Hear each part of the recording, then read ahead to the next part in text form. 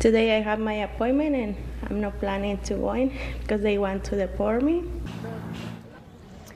Today, faith and community leaders stand in solidarity with immigrant mothers Edith Espinal and Miriam Vargas.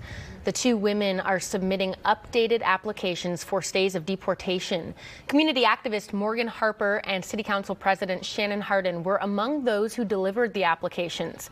Espinal and Vargas continue to live here in Columbus and Mennonite Church so they can claim asylum.